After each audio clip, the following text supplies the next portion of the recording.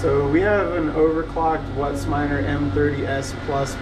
It's running at roughly 140 terahashes a second over the stock uh, 110. And as you can see, I'm reaching 138.7 right there. Uh, we're running at 38% overclocked. And come in here.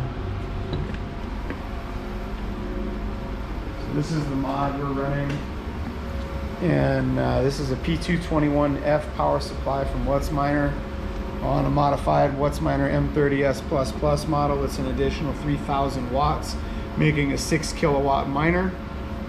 And in our two-phase immersion test cell here, we've got two of them running. And as you can see, they are boiling away. I'm to kill the power so you can see.